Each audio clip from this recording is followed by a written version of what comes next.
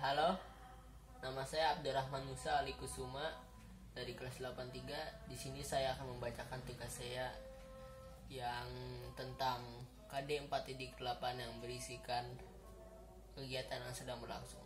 Oke, okay, let's start. Studying English in the class. My name is Musa. I am studying in Junior High School 179. I am 14 years old. I am from 83 class. My schedule from English lessons is Wednesday and Thursday and I want to tell you about study in English subject. My English teacher is Mrs. Lilik Chudaifah. In the Thursday, she is teaching English in my classroom.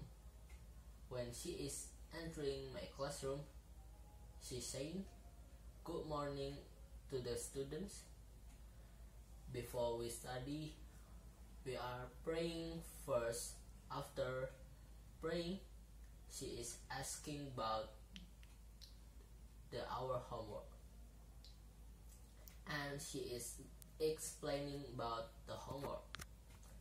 After explaining about the homework, she is telling us to write a present continuous sentence on the whiteboard and she is telling to Jericho and Yuda to write the sentence on the whiteboard. It's taking a long time and she is correcting the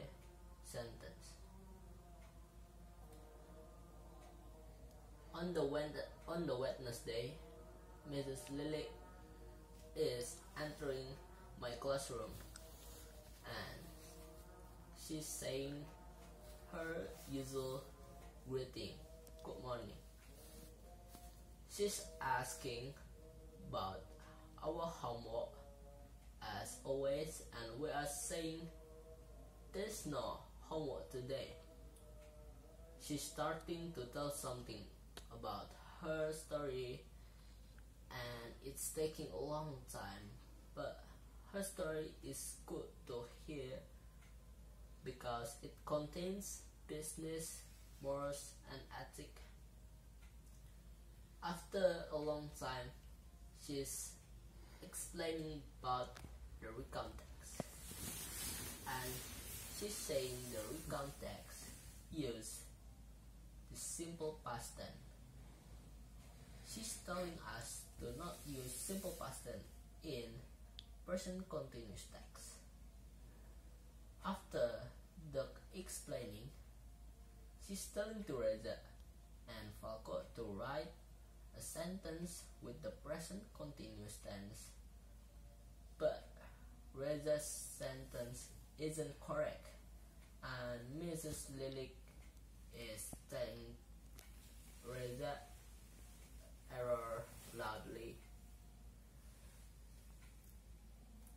She's telling Reza to come back to his chair and she's telling the error to us and we are writing the error. She's saying the focus se sentence is correct and the bell is ringing. In the Thursday, she always comes on time to my classroom and she's never late. She's entering our classroom with saying her usual greeting. Before study, we're praying and after like usual, she asked about the homework. We're saying there is no homework and she is continuing to explain about recount text present continuous tense and like plural rule. The bell is ringing and the time is up.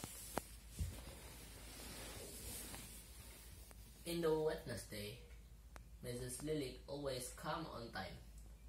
When she's in entering my classroom, she always greeting to the student. She asking about our homework and we are saying that we have a homework. We are correcting the homework and she's telling to us again about the present continuous tense like the rules. When she's teaching about present continuous tense, she's telling Suban's email isn't correct, so she is telling the error.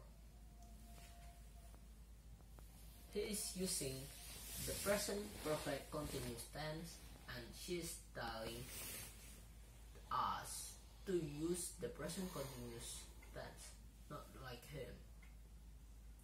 She's asking about Reza. Where is he? And we're answering that he is not here.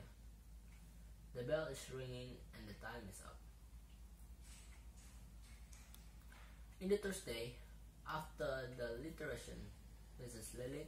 Is entering our class and she's saying we want to do a test. She's telling us to make one sentence in for negative, positive, interrogation, and WH question forms. She is giving us 40 minutes to do the test. It's going smoothly. It's not difficult for me. So I'm doing it quickly after finish. We are putting the paper task on her desk. She's telling us about the present continuous tense again and she's writing some paragraphs of present continuous and the bell is ringing. English is an important subject. We as the students must study about this subject.